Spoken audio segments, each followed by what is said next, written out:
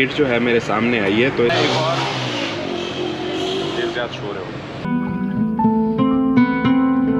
अभी सही तरीके से व्लॉग में जाने से पहले एक गुड न्यूज़ है शेयर कर लूँ आप लोगों से कि जिस एडसेंस पिन का मैंने व्लॉग बनाया था कि क्या मुझे पिन मिल जाएगी तो जी हाँ वो ज़रूरी पिन मुझे होम एड्रेस पे मिल चुकी है और सबमिट भी हो चुकी है। वाओ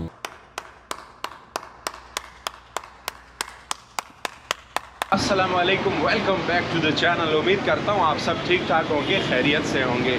जी हाँ किसी ने क्या खूब ही कहा है कि ज़रूरत ईजाद की माँ है और ये केस मेरे ऊपर बिल्कुल फिट आता है। अब मुझे नहीं पता कि ये ज़रूरत है या ईजाद है, लेकिन है क्या? आगे बढ़ते हैं और बताता हूँ।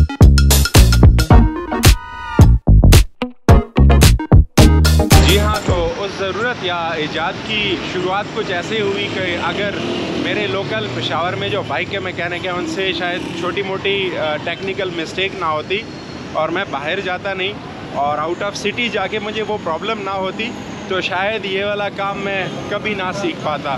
तो अभी मैं हूँ शोभा बाज़ार में और यहाँ पे मेरी शायद एक या दो लास्ट फाइनल जो टूल हैं, वो मुझे चाहिए। तो वो अभी यहाँ पे मैं चेकआउट करता हूँ इन शॉप्स में और उम्मीद करता हूँ कि वो मुझे यहाँ से मिल जाएँगी। शोभा बाज़ार, पेशावर का मरूफ बाज़ार या मार्केट इसको कह सकते हैं। गाड़ियों से रिलेटेड अगर रिपेयर का काम है या कोई भी टूल आपको स्पेयर पार्ट बाहर का चाहिए, लोकल चाहिए तो यहाँ से बासानी मिल जाता है। एनीवेज शोभा बाज़ार का चौक जो है बिल्कुल सामने है और यहाँ से मैं शुरुआत करता हूँ अपना फिलर गेज मुझे चाहिए टिपट को एडजस्ट करने के लिए। तो चेकआउट करते हैं। आई होप कि मुझे प्राइस भी यहाँ से अच्छी मिल जाएगी।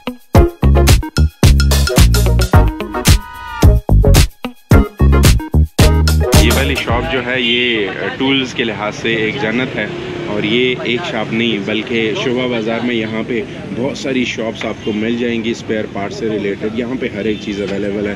और स्पेशली यहाँ पे जो स्पैनर लगे हैं, ये भी मुझे कुछ चाहिए होंगे, लेकिन जो फीलर गेज है, उसका चेक करते हैं। ये फीलर गेज जो है, वो यहाँ पे मुझे मिल गया। वैसे अफ्टाबाद में मैंने इसकी प्राइस जो चेक की थी, वो मुझे बताया था कि 600 का बेचते हैं लेकिन आपको 500 का देंगे। यहाँ पे मुझे 350 का बोला है, थोड़ी सी बार्गेनिंग हुई तो अराउंड 300 टू 330 में मुझे ये फीलर गेज मिल जाएगा। वैसे बेसिकली इससे टेपर्ड की जो एडजस्टमेंट होती है जो उसकी आप मयरमेंट करते हैं उसको मतलब ये पतियाँ जो है उसमें इस्तेमाल की जाती है। सो so, इसकी प्राइस डन हो गई है three hundred and thirty rupees की और इसमें जो गेज मुझे मिलेंगी अगर मैं आपको बताऊँ point zero five point zero eight point ten तो मुझे ज़्यादातर जो यूज़ करनी होगी वो पॉइंट टेन और ये पॉइंट थर्टीन तो आउट के लिए मैं पॉइंट थर्टीन यूज़ करूँगा और इनलेट के लिए पॉइंट टेन यूज़ करूँगा। ये वाली किट जो है मेरे सामने आई है तो इसमें सारी ही सारी चाबियाँ हैं। छः सात, आठ, नौ जो रेगुलर कीज़ यूज़ होती हैं काम में तो वो मुझे यहाँ पे मिली है। अच्छी क्वालिटी है, मुझे भाई साहब बता रहे हैं टू थाउज़ेंड फाइनल होगा इसका।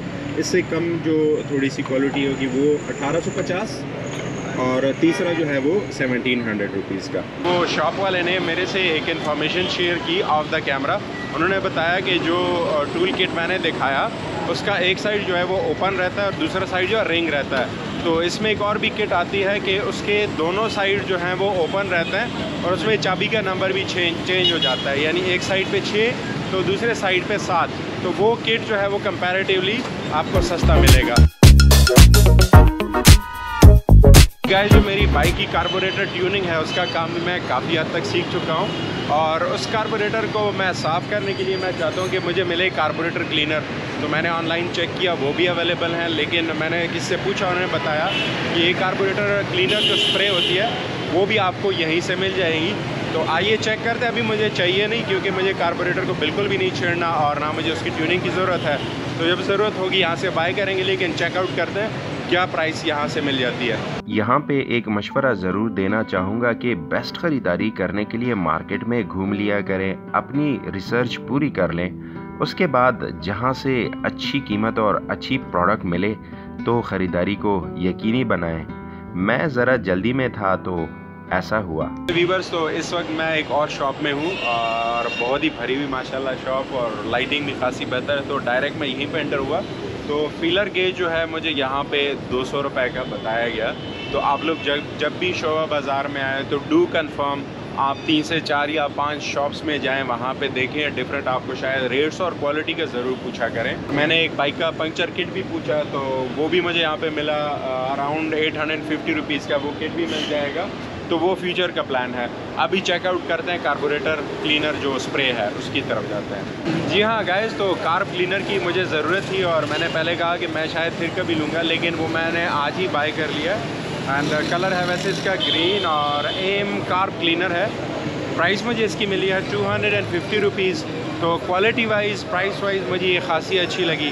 सो बाय कर ली और छोटा सा खर्चा कर लिया। तो ये कीप को हम कैसे भूल सकते हैं? और इंजन में जब आर डालेंगे तो इसी की हेल्प से ही डालेंगे। तो ये भी मुझे मिल गई यहाँ से फिफ्टी रुपीज़ की। आप लोग कहेंगे कि ये आपने दो से तीन आइटम ले लिए और काम ख़त्म नहीं।